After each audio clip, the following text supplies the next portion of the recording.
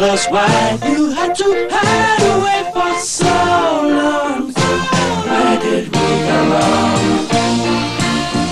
Mr. Blue Sky, Please tell us why you had to hide away for so long. Where did we go wrong?